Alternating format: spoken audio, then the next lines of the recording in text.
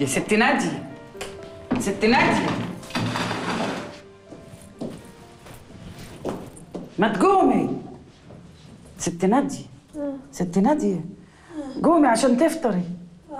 قومي. يلا. يلا. يلا ده أنا عاملة لك فطار النمية. ملوكي. يلا. قومي راسي تعال تعال. اقعدي اقعدي. اقعدي. يلا عشان تفطري. صباح الخير. ريم ريم. أنا تعبانة قوي. سلامتك يا روحي سلامتك روحي مليئة.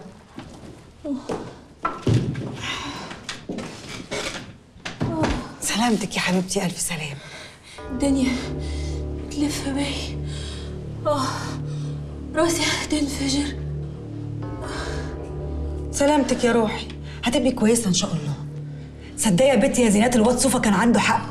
محدش يقدر يعمل اللي أنا عاوزاه غيرك أنت يا قروبة تقصدي إيه؟ بقول لك إيه؟ أنا جايبة لك معايا حقن كده لازم تاخديها في ميعادها. اوعي تفوتي حقن.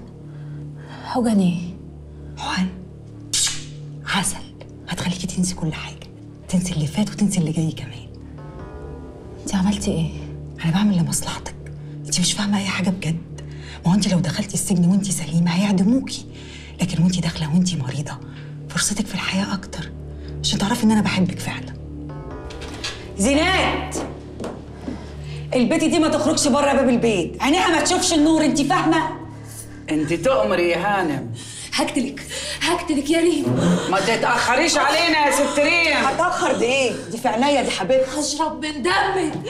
آه اهدي، اهدي. بعد عني بعد عني يا وليتي اهدي. هقتلك يا ريم.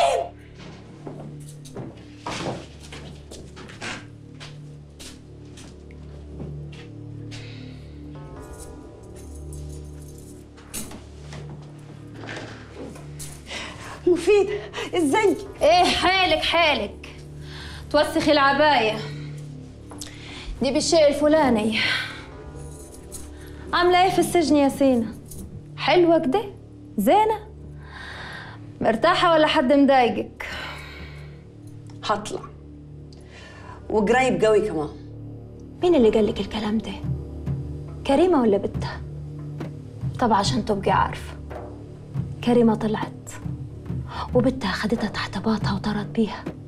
ومن الآخر كده انت اللي هتشيلي الليلة كلها. وأنا الصراحة وعدتهم إن أنا هشهد. وأقول إن أنا شفتك بعيني دي وانت بتقتلي محرم. لا مش كده وبس وإنك كدابة وبتتبلي على الناس. وصوف الله يخليه ويطول في عمره. هيثبت إنك خطفت الواد ولدي. يعني انت مجرمة. وعمايلك السودة هي اللي جابتك لحد هنا.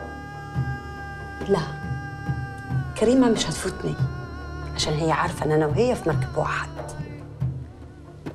مركبك غرقت خلاص وكريمة نطت وخدت الطوق وعمت به للبر التاني. هبقى جيلك لما تلبسي البدلة الحمراء.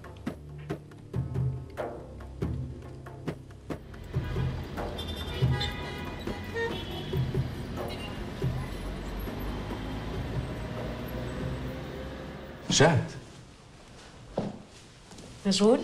لا ابدا. بصراحة أنا كنت مترددة قوي إني أجيلك. ليه؟ يعني محرجة من اللي عملته معاك. أنا نسيت اللي حصل ومش في دماغي. على فكرة زينب هتخرج بكرة. أنا أصلي اتعاملت مع الموضوع بشكل شخصي.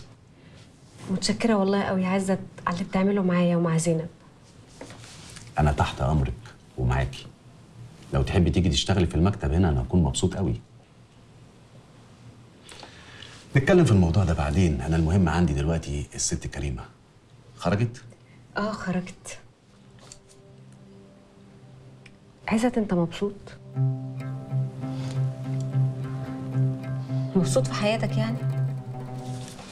تفتكري إيه اللي هيخليني مش مبسوط؟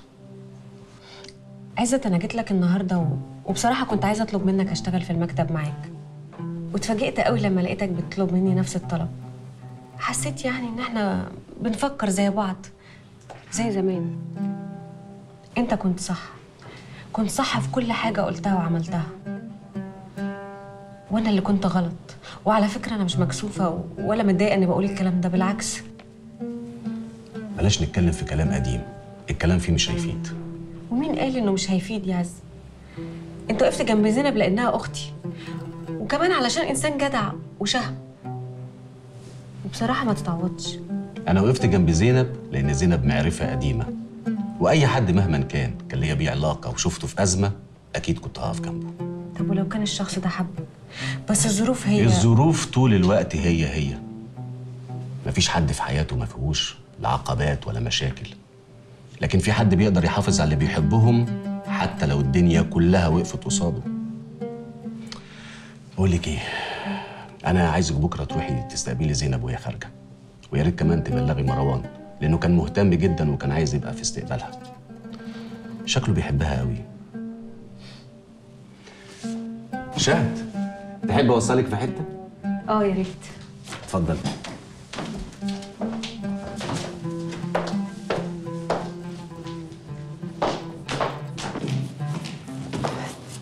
تعال عايزاك. والله كويس إنك عايزاني. خير. عايزة ابني البيت. بيت إيه وليه اللي عايزة تبنيه؟ ما تعملش أهبل يا محروس. اتعيد لي في كلامك يا فوزية. البيت الكبير. عايزة ابنيه من تاني شوف الرجالة وشوف هيكلف كام. الله. ده أنت معاكي فلوس بقى.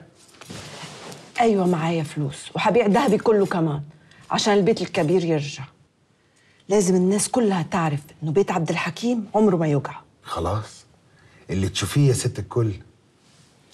الا صحيح الناس شافوكي النهارده وانت خارجة من عند مكتب المحامي. خير. كان في حاجة؟ وما دخلتش وسألته ليه. واسأله ليه؟ ومراتي حبيبتي معايا في البيت. عمرها ما بتخبي عني حاجة. ولما بتعوز حاجة بتيجي تطلبها مني زي ما طلبتي دلوقتي. الواد جيعان عايز ياكل. ما تنساش اللي قلت لك عليه. ماشي يا فوز. ماشي يا ست الكل. عشان تعرفي بس إن ملكيش غير محروس. هو اللي باقيلك.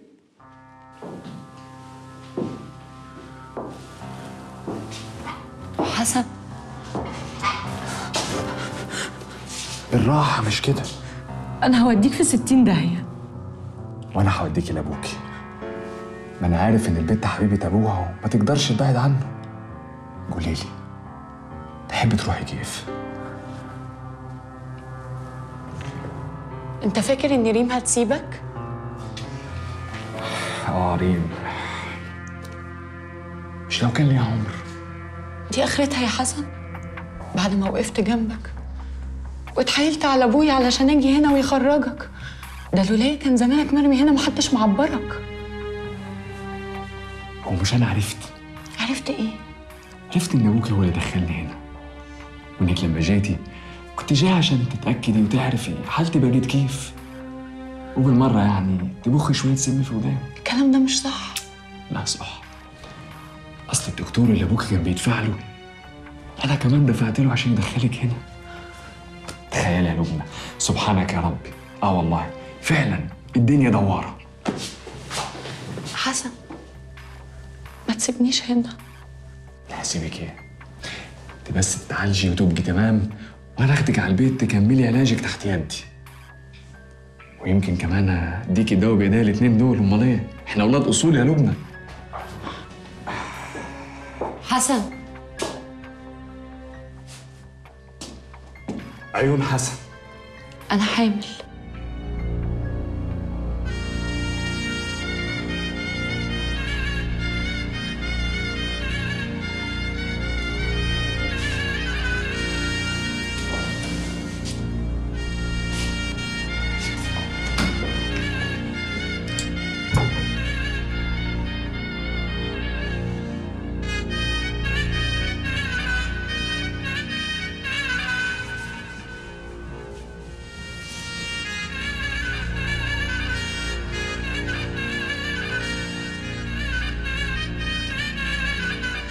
يا دكتور. انسى كل اللي قلته لك. أيوه. عايزة تفضل هنا وبس. ما تديهاش أي أدوية. أنت فاهم؟ يلا بالسلامة.